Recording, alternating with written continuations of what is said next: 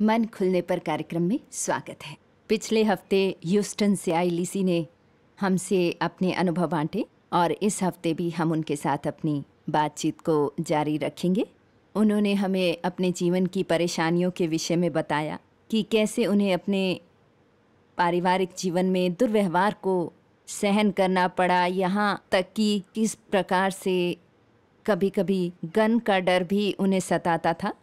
ये सब कुछ पिछले एपिसोड में उन्होंने हमें बताया तो अब इसे आगे जारी रखते हैं।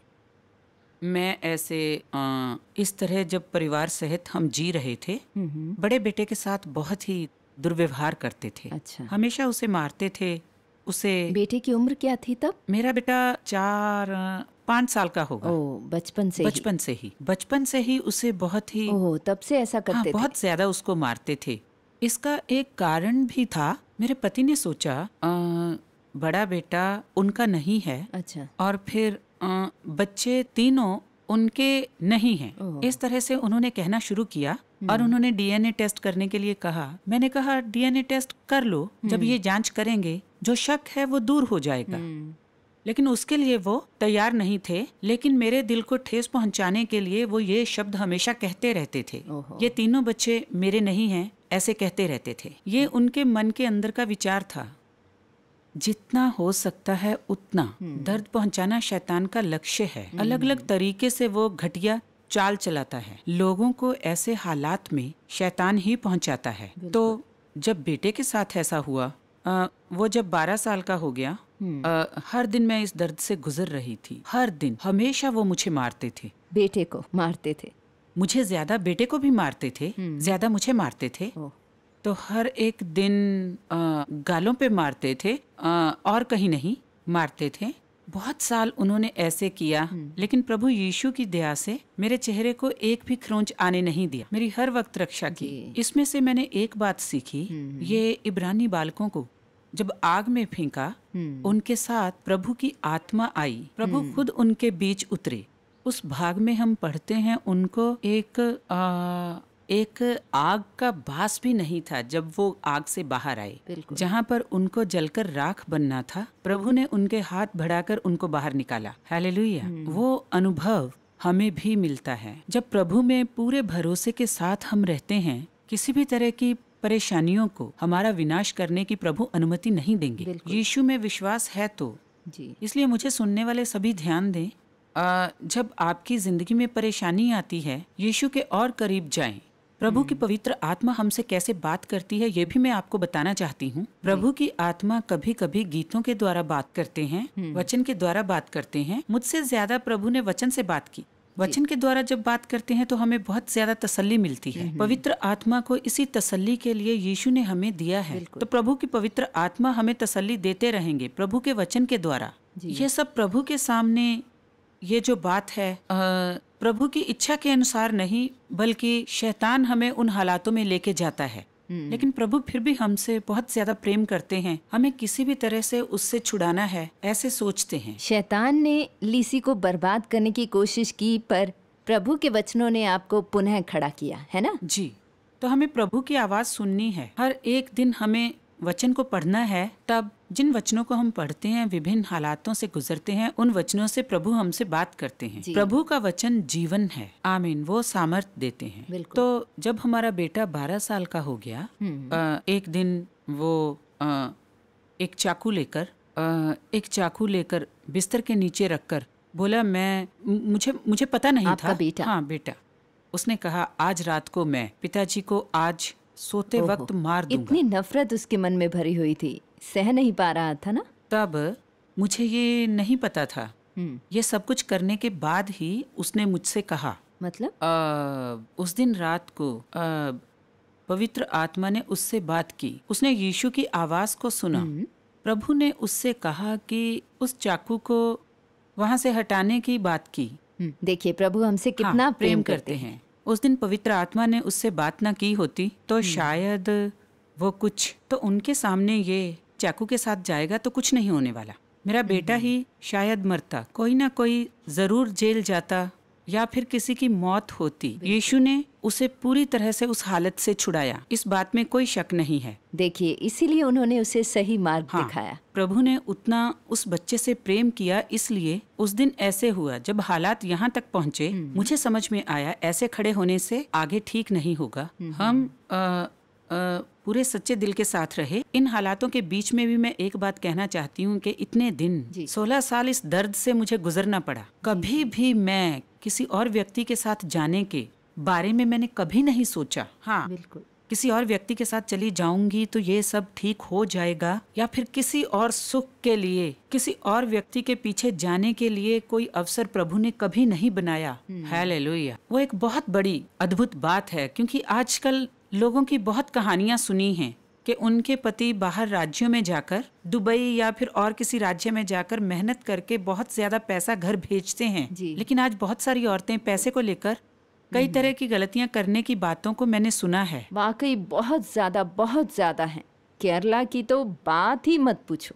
ये जो भी कर रहे हैं बहुत ही गलत बात कर रहे हैं। प्रभु की उपस्थिति में आंसुओं के साथ वापस आएँगे। बिल्कुल। ज़रूर प्रभु उनको नई ज़िंदगी देंगे। लेकिन इस सच्चाई के साथ खड़ा होने के लिए प्रभु ने मुझ पर कृपा की। मेरी ज़िंदगी में मेरे बच्चों के सामने मैं एक उदाहरण हूँ। इसलिए हम अभी हम अभी वहाँ रहते हैं। मेरा बड़ा बेटा तीस साल का हो गया है। उसने दो डिग्री प्राप्त कर ली है। दो बैचलर्स डिग्री खत्म किया और बेटी अभी बैचलर्स खत्म करके मास्टर्स के लिए पढ़ रही है। दोनों काम भी करते हैं। छोटा बेटा अ, अ, पढ़ाई में आगे बढ़ रहा है। इस तरह प्रभु ने हमारी सहायता की। वो बहुत ज़्यादा प्रभु के लिए कीमत चुकाकर कुछ भी करने के लिए तैयार बच्चे हैं। आपके बेटे चार्ल्स के मन में ये विचार इसलिए आया क्योंकि वो हर रोज आपको मार खाते हुए देख रहा था है ना? हाँ हाँ हाँ, जी। अच्छा तो उसके बाद आप अपने जीवन में इस मोड़ पर पहुँचे। हाँ हाँ तब मैं प्रार्थना करने लगी कि प्रभु मुझे इस हालात से छुटकारा चाहिए। मुझे नहीं पता किस तरह का छुटकारा मुझे मिलेगा। मैंने इसलिए प्रार्थना की कि प्रभु मुझे पूरी तरह से चंगाई अ, मेरे पति को देकर मुझे उन्हें वापस। मैंने भी आपके पति के लिए आपके साथ प्रार्थना की है। जी इसके बीच एक बात हुई। उस दिन जिस दिन आप हमारे घर आए थे आ, मैं अपना कारपेट वो बहुत ही वहाँ हर कमरे में कारपेट है। तो ये जो चटाई है हाँ। बहुत ही बुरी हालत में थी। मैं चाहती थी उसे बदलूं लेकिन वो कभी भी उसकी अनुमति नहीं देते थे। तब आ, मेरे पति ने कहा किसी भी हालत में इसको यहाँ से नहीं हटाना। मैंने कहा प्रभु मेरे यानी एक स्त्री का सर पुरुष है और पुरुष का सर यीशु। ऐसा एक वचन है। उस वचन को लेकर मैंने प्रार्थना की कि अगर तुम सर हो तो उनसे आज बात करें। इस तरह से मैंने जब दो तीन दिन प्रार्थना किया तो वो मेरे पास आकर कहे कि हम कारपेट बदलेंगे। सहमत हुए। लेकिन मुझे कुछ भी चुनने के लिए मेरे अपने ही घर में कोई भी आज़ादी नहीं थी। कुछ भी चुनने का हक नहीं था। यहाँ तक बच्चों का नाम रखने का भी हक नहीं था। बच्चों का नाम भी उन्होंने ही चुना। लेकिन ऐसी बातों को मैंने कभी भी अपने मन में नहीं लिया क्योंकि मैं जानती थी प्रभु के लिए अ, अलग किए गए बच्चे हैं इसलिए वो नाम उन्होंने डाला है। प्रभु उसको आशीष बनाएँगे ये मैं जानती थी इसलिए तीनों को उन्होंने ही नाम दिया। अ, मेरे पिता के खिलाफ इतना गुस्सा था इसलिए बड़े दोनों अ, दोनों अ, जो बच्चे हैं अ, पिता के हाँ। पिता का नाम दूसरा जो बेटा होता है हाँ, उसकी पत्नी के पिता का नाम बीच में डालते हैं लेकिन इन्होंने दोनों के बीच का नाम उनके पिताजी का ही रखा। यानी आपको नीचा दिखाने का कोई मौका नहीं छोड़ते थे। जी बिल्कुल सुना है आपको लॉक करके जाते थे? हाँ रात को काम पे जाने के वक्त वो ताला लगा के जाते थे। एक छोटी नौकरी मिली थी। हमेशा ताला लगा हाँ, देते थे? बाहर से ताला लगाते थे लगा के चाबी लेके जाते थे और हम बाहर नहीं निकल सकते थे। उनको लगता था कि रात को कोई इस घर में आता है इस तरह की एक सोच उनके मन में हमेशा होती थी। इन सब हालातों के पीछे शैतान ही था। कभी भी आ, हम किसी को भी दोषी नहीं ठहरा सकते हैं। सारे हालातों में मेरी ज़िंदगी में एक बहुत ही बड़ा बदलाव लाने के लिए प्रभु ने मेरी सहायता की और करीब आने के लिए। उन्होंने मदद की। हमारे जीवन के नुकसान के बारे में जब कहते हैं ये नुकसान इसलिए आता है कि हम प्रभु के और करीब हो जाएँ। यीशु हमेशा हमारे साथ हैं। ये वादा भरपूर रीति से पूरा होने के लिए ही ऐसी बातें हमारी ज़िंदगी में होती हैं क्योंकि ऐसे हालातों के कारण हम एक इंग्लिश चर्च में गए। वहाँ पर बहुत ही आत्मिक अनुग्रह से प्रभु ने हमें आगे बढ़ाया। वहाँ जाकर ही अ, ऐसे हालातों में मलयालम चर्च जाना नामुमकिन था क्योंकि वहाँ के लोग अ, हमें बहुत गलत बोलते थे। अ, ऐसी वैसी परेशानियाँ हैं ऐसी बहुत बातें करते थे। इसलिए हम इंग्लिश चर्च में गए। वहाँ प्रभु ने हमारी अगुवाई की। वहाँ बच्चे भी आत्मिक रीति से आगे बढ़ने लगे। परेशानियों से धीरज धीरज से संयम और संयम से आशा आती है है ना? इतनी परेशानियों के बीच भी प्रभु ने आपको धीरज धरना सिखाया है ना? हाँ आज जिन हालात में आप हैं वहाँ तक आपको यीशु ने पहुँचाया। प्रभु ने बचपन में ही आपको अपनी सेवकाई के विषय में ज्ञान दिया है ना? जी। हाँ। वो परमेश्वर के उस उद्देश्य में आगे ना बढ़ने का एक एक युद्ध था वो। लेकिन प्रभु ने उसमें से हमें बाहर निकाला। प्रभु समय समय पर आपको दृष्टिबोध हाँ। कराते रहे। मैं अ, उन हालातों से जब मैं गुजर रही थी तो प्रभु ने मेरे साथ बात किया और पहले एक वचन उन्होंने मुझसे कहा। वो उत्पत्ति का किताब अध्याय बारहवीं से था। उस दिन से प्रभु मेरे साथ बात करने लगे। उस बारहवें अध्याय में शायद होगा ये वचन।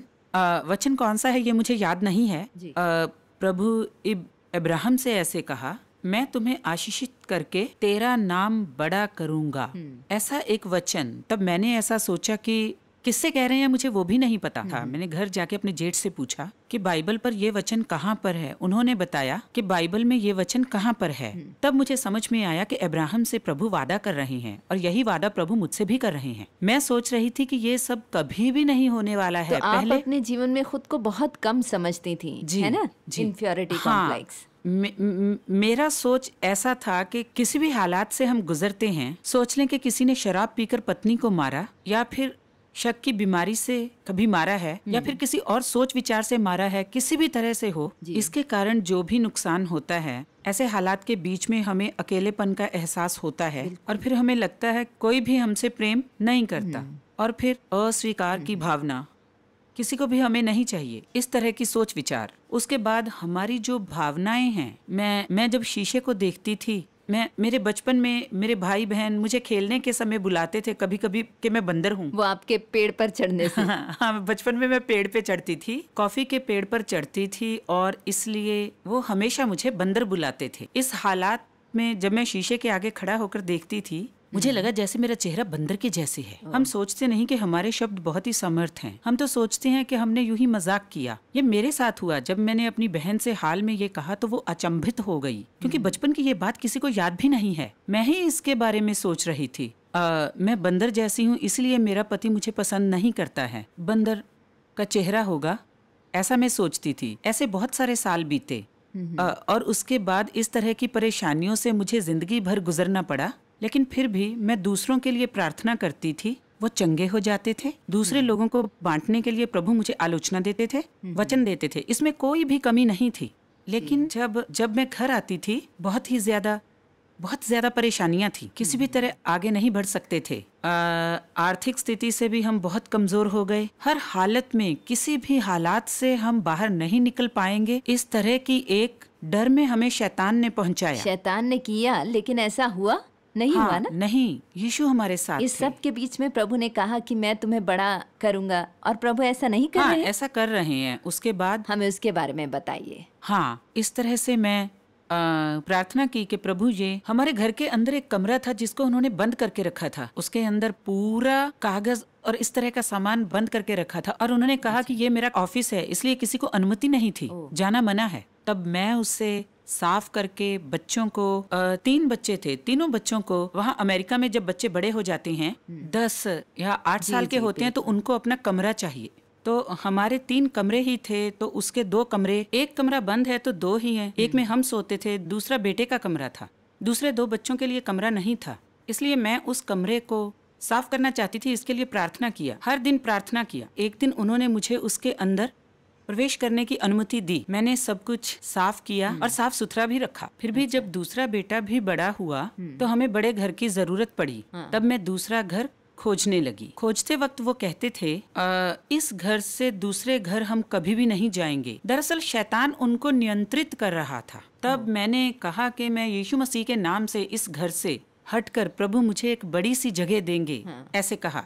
प्रार्थना के साथ घर खोजने लगी। इस तरह से प्रभु एक चार बेडरूम वाला घर हमें ये एक बहुत बड़ी कहानी है। आज वो खत्म नहीं होगी। लेकिन प्रभु प्रभु ने इस सब में भी काम काम किया। किया। उनके हस्ताक्षर के बिना ही उनके हस्ताक्षर के बिना वहाँ घर खरीदना मुश्किल है। हम दोनों का हस्ताक्षर इस बात के लिए ज़रूरी था लेकिन उनके हस्ताक्षर के बिना ही प्रभु ने घर दिया। मैंने जब उस नए घर में आ, जाने के लिए सोचा तो उन्होंने कहा कि वो हमारे साथ नहीं आएँगे ना ही हस्ताक्षर करेंगे और ना ही वो आएँगे। तब मैंने उनसे कहा ऐसी बात है तो मैं अपने बच्चों को लेकर अपने उस नए घर में जा रही हूँ। सब लोगों ने कहा कि वो पीछे आएगा तो तुम्हें मार डालेगा क्योंकि उस वक्त उनके हाथ में बंदूक थी सबको डरा के रखे थे इसलिए कोई भी मेरे घर से कोई हमारे घर नहीं आ सकते थे। मेरे दोस्तों के साथ कोई संपर्क नहीं था किसी के साथ कोई संपर्क नहीं था। बहुत साल तक अठारह साल तक कोई भी संपर्क में नहीं था। आ, उसके बाद मैं नए घर में गई। वो खुद ही वहाँ से हमें नए घर में जाने के लिए सहमति दिया। अच्छा। ऐसे आ, तो ऐसे हालातों से प्रभु ने लिसी और बच्चों को आज़ादी दी। जी। तो इस तरह से इतने सालों में आपने खुद बच्चों को बड़ा जी किया? बड़ा किया। उसके बाद पहले भी मैं ही परवरिश करती थी। उनका आर्थिक जो भी हमें नहीं मिलता था उससे मज़ेदार बात एक जब मैं उस घर से बदल रही थी उन्होंने तीस हज़ार डॉलर कर्जा लिया तो मैं अपना पैसा भी उनके हाथों में ही देती थी। ये पूरे सोलह साल हम एक साथ रहते थे मैं मैं जो भी कमाती थी अपना पैसा उनके हाथों में ही देती थी। जी। वहाँ से निकलते समय मैंने ये पैसा जब गिनकर देखा तो वहाँ पर अ, तो मेरे हाथ में कुछ बचा ही नहीं था। यीशु ने मुझे सामर्थ्य दिया। तीस हज़ार डॉलर कर्जा पूरी तरह से चुकाने के लिए प्रभु यीशु ने मुझे एक साल के अंदर ही मैंने वो कर्जा चुका दिया। नए घर में जब प्रभु साथ हैं तो कौन खिलाफ हो सकता है? अब वो घर आते हैं आपके पास? जी। या फिर आ, या बच्चे देखने जाते हैं? हाँ, हाँ। सब कुछ ठीक है जी। और आपको भी आज़ादी है आप है ना? नहीं तो बेटा ही बाप को मारने चला था देखो। है ना? हाँ जी बिल्कुल। बहुत बड़ी परेशानी में हमको पड़ना था लेकिन यीशु ने बचाया। हम अक्सर ऐसा सोचते हैं अ, कि ऐसी बातों से कभी छुटकारा नहीं होगा या इस तरह मुझे छुटकारा मिलेगा। लेकिन प्रभु यीशु तो अक्सर अपने तरीके से करते हैं लेकिन प्रभु की इच्छा के लिए समर्पित करें। प्रभु यीशु ने खुद ही अ, ये सब कुछ संभाला। लगभग एक महीने तक मैं लगातार रोती रही।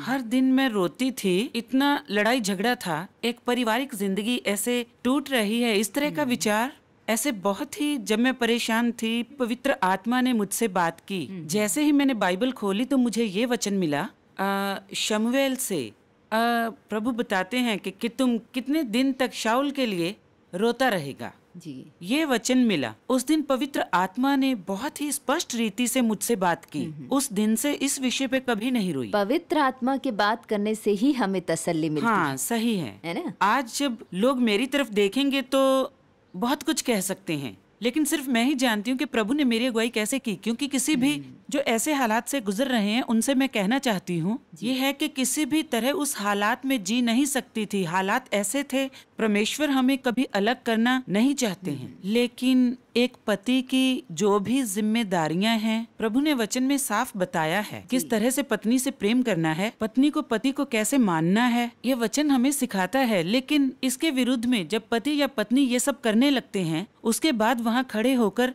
जीतने के बारे में सोचना नहीं है। हम पूरी तरह से कोशिश करें। अठारह साल इस तरह से मुझे नहीं लगता है कि कोई सहेंगे। यीशु ने मुझे बल दिया उस हालात से निकलने के बाद मुझे कोई दुख नहीं है। कितनी अच्छी बात है कि वहाँ कोई खून नहीं हुआ मौत नहीं हुई। जी। ये प्रभु यीशु ने सहायता की। बच्चों को भी पढ़ाने के लिए मैंने सब कुछ अकेले ही किया। इसके बीच में आ, कोई भी मेरी सहायता नहीं कर सकते थे। मेरे परिवार वाले कुछ भी नहीं कर पाए। कभी कभी वो सोचकर बहुत ज़्यादा दुख भी मुझे हुआ है। लेकिन जब हम अकेले ही प्रभु के लिए खड़े होते हैं देखिए तभी आप कह रही हैं ना कि यीशु ने आपकी सहायता की। जी जी।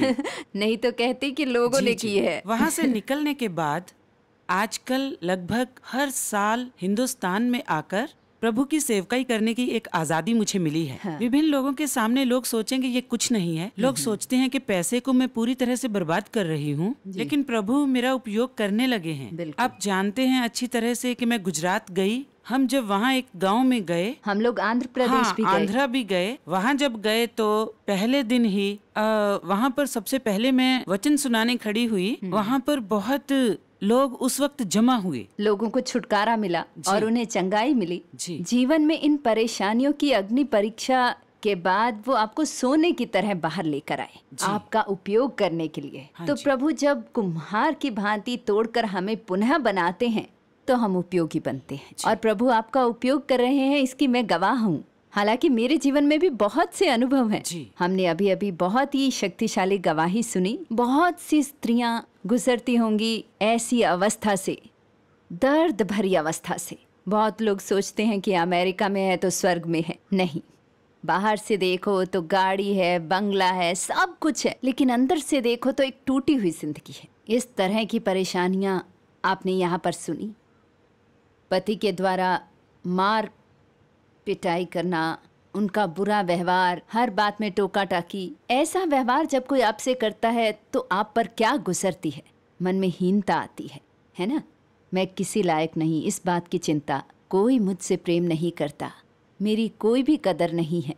ऐसी भावनाओं के साथ बहुत सी औरतें इस समय हमें सुन रही होंगी। हो सकता है आपके पति आपको मारते हो। तुम किसी काम की नहीं, नालायक हो। तुम्हें कुछ नहीं आता जाता। ऐसी बातें कहने वाले बहुत से लोगों को मैं जानती हूँ। उनकी ऐसी बातें सुनकर हम सोचते हैं कि हम नालायक हैं। मुझे कुछ भी नहीं आता। मैं तो कुछ भी नहीं कर सकती हूँ। और ऐसे विचारों के साथ आप सचमुच कुछ कैसे कर पाएँगी?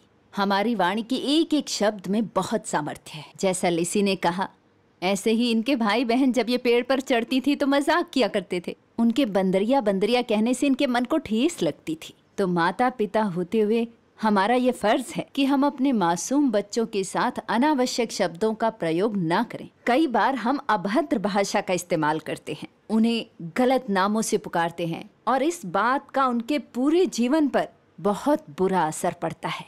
तो बच्चों के प्रति ऐसे शब्दों का प्रयोग हमें बहुत ध्यान से करना चाहिए, जैसा कि लीसी को आप देख सकते हैं। मैं स्वयं इसकी गवाह हूँ, क्योंकि कुछ समय पहले की बात है जब मैं अमेरिका में ह्यूस्टन जा रही थी। तो जाने से दो दिन पहले अचानक मेरे पेट में दर्द हुआ। तो डॉक्टर ने कहा कि स्कैन करना पड़ेगा, और जब स्कैन किया तो पता चला कि मेरे दोनों गुर्दों में पत्थरियाँ हैं। तो डॉक्टर ने मुझे कुछ दवाई दी। मैं वो दवाई अपने साथ लेकर जा रही थी। मैं ह्यूस्टन में जाकर उतरी। वहाँ पहुँचने के बाद हमने लिसी के घर जाकर तीन दिन तक मिलकर प्रार्थना करने की योजना बनाई। प्रार्थना करने जब हम बैठे तो मैंने इसे अपनी पेट की समस्या के बारे में बताया।